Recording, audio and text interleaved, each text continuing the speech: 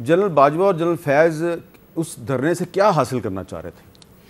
Sir उस वक़्त तो मेरा ख्याल है जो वायद जो मकसद था उनका यही था कि मियाँ नवाज़ शरीफ को किसी तरह जो है ना उसकी वापसी के तमाम तमाम रास्ते जो है बंद किए जाएँ। अच्छा। और उसके साथ साथ पी एम एल एन के वापसी के भी रास्ते जो है बंद किए जाएँ। जिसमें वो कामयाब हुए। ठीक है। कुछ देर बाद ये इलेक्शन हुए और उनको अपने मकसद में कामयाबी हुई। ये सारा जो फ़िल्म चली, जिसमें पनामा भी था, जिसमें और भी बहुत सी चीज़ें थी जो बेटे से तनख्वाह ना ना लेने वाला सिलसिला जो था जे जो बनी मियाँ नवाज़ शरीफ कैद हुए मरियम कैद हुई मियाँ नवाज़ शरीफ की बेगम जो है, उस दौरान जो है चल बसी ये ये सारा सिलसिला जो है वो जो जो एक बड़ा अफसोसनाक बाब है हमारी कौमी तारीख का एक बड़ा एक सैड चैप्टर है जिसके रिज़ल्ट में अल्टीमेटली फिर इमरान खान साहब की हुकूमत आई। उनको इलेक्शन में कामयाब करवाया गया जिसकी कीमत जो है वो पी एम एल एन ने वोटों के से भी अदा की और उसके बाद जो है जो हमारे साथ जो है चार साल में जो कुछ हुआ वो भी अदायगी इसमें एक और भी सवाल पैदा होता है। जी। कि फरवरी 2019 में काजी फायजीसा साहब ने फैज़ाबाद धरना केस की जजमेंट लिखी। जून 2019 में उनके खिलाफ रेफरेंस दायर हो गया। और उसके बाद दिसंबर 2019 में पीटीआई, पीएमएलएन और पाकिस्तान पीपल्स पार्टी ने तीनों ने मिल के जनरल बाजवा की एक्सटेंशन की हमायत कर दी। ये कैसे हुआ? मी साहब ये ये मैं मैं उसका कोई जिसको क्या कहते हैं ना कोई एक लॉजिकल उसका मैं को आर्गूमेंट नहीं दे दे सकता। लेकिन हमारी पार्टी की क्यादत ने ये फील किया कि इस वक्त हम जिस सिचुएशन में हैं हमें इस फैसले के साथ जो है ना एक्सटेंशन के साथ जाना चाहिए। मियाँ नवाज़ शरीफ साहब को जो है कहा गया मैं मैं मियाँ नवाज़ शरीफ को उसमें बड़ी ज़िम्मा करार देता हूँ कि ये मरूजी हालात में जो है उसमें एक शर्त लगाई मियाँ साहब ने उन्होंने उनका एग्जैक्ट अल्फाज मैं कोट कर रहा हूँ कि अगर मैं आपके रिकमेंडेशंस पे अमल दरामद करता हूँ और आपको इजाज़त देता हूँ इस चीज़ की तो इसका क्विड प्रो को कोई नहीं होगा। इसको कोई रिटर्न फेवर नहीं होगी। अच्छा। और उसका मैं एनिंग हुआ हूँ। अच्छा। वो रिटर्न फेवर मुझे ऑफ़र हुई। हाँ वो मुझे याद है। आपको याद है? वो रिटर्न फेवर मुझे ऑफ़र हुई अब बता देना क्या थी फेवर? नहीं फेवर जो है वो ये थी कि ये बात जो है ये दिसंबर की नहीं है ये, ये दिसंबर से बात की है। जनवरी में वो मचोर हुआ था ना? जनवरी 2020 में वो मचोर हुआ था सारा मामला। क्योंकि वो सुप्रीम वोटिंग वोटिंग किस महीने हुई थी? मैं आपको कैलेंडर देता तो वोटिंग जिस महीने हुई ना ये हाँ। वोटिंग से कुछ देर पहले की बात है। ठीक है। उन्होंने कहा जी कि आपने जो फैसला जो है वो कर लिया है। तो कोई इबहम तो नहीं है? मैंने कहा, जी, कोई कोई इबहम नहीं है.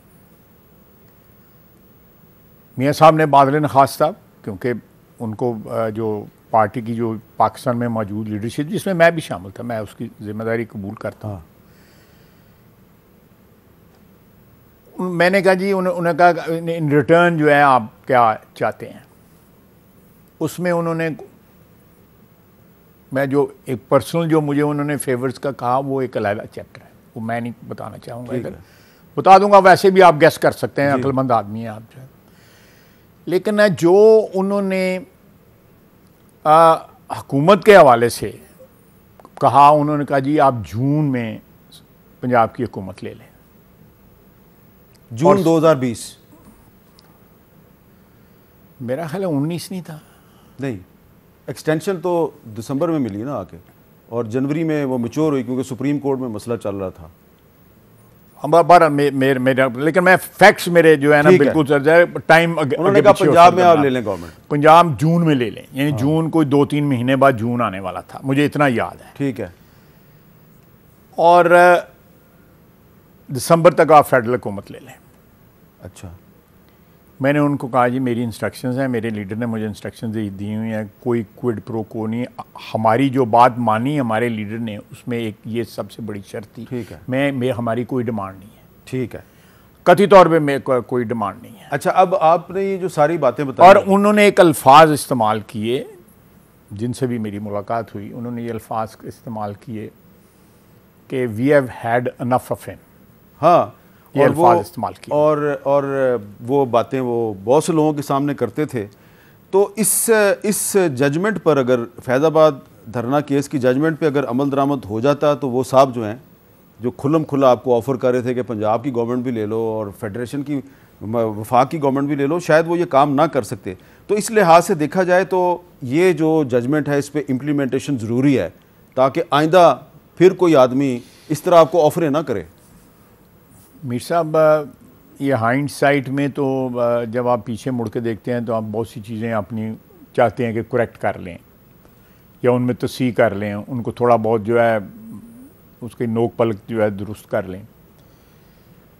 बहरहाल वो एक फैक्ट है जिसको मैं डिनाई नहीं कर सकता मैं पार्लियामेंट अच्छा ज़रा ये थोड़ा सा बता दें कि जो जो नवाज़ शरीफ साहब ने स्टेटमेंट दिया जिसपे कुछ लोग आपकी पार्टी के अंदर भी बड़े परेशान हैं। कि ये क्या इन्होंने बात कर दिया है कि जनरल बाजवा का भी एहतसाब हो, जनरल फैज़ का भी, साकिब नसार का भी, आसफ़ सईद खोसा का भी। और फिर आज कुछ अखबारों में ख़बरें हैं, ये मैं आपको ख़बरें दिखाता हूँ। वो है जी कि शबाज शरीफ की कोशिशें रंग ले आई, नवाज़ का बयानिया तब्दील। अब नवाज़ शरीफ सबका फ़ौजी अफसरों से मुतलक मुहाजराई वाला बयानिया नहीं अपनाएँगे। तो आप देखें ना, जो फैज़ाबाद धरना केस का जो जजमेंट है, वो भी ये कहता है कि सियासत में मुदाखलत करने वाले फ़ौजी अफसरान जो हैं, उनका मुहासबा होना चाहिए।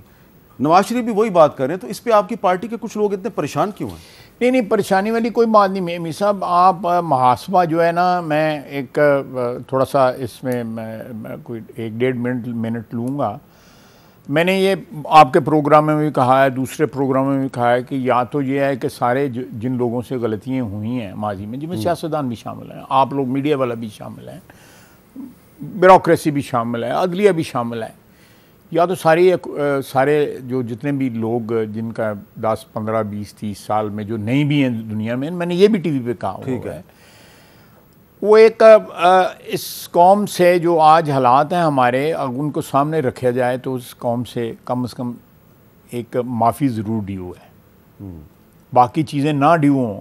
अगर आगे हमने चलना है तो हमने एक अगर कंसेंसस क्रिएट करना है किसी के ऊपर मैंने आपके प्रोग्राम में बड़ी दफ़ा ये कहा है अगर कोई कंसेंसस क्रिएट करना है तो हमें कम अज़ कम माजी का इतराफ़ गलतियों को ज़रूर करना चाहिए। देखें मैं ये चीज़ ये भी बार बार रिपीट करता हूँ कि अटोनमेंट बग़ैर कन्फेशन के नहीं होती। बख्शिश जो है उसके लिए पहले अपने गुनाहों का इतराफ़ करना पड़ता है। लेकिन खाय साहब सियासतदान तो सियासतदान तो अपनी गलतियों का कफ़ारा अदा करते हैं। बल्कि नाकर्दा गलतियाँ नाकर्दा गुनाह उसका भी कफ़ारा अदा करते हैं बार बार जेल जाते हैं।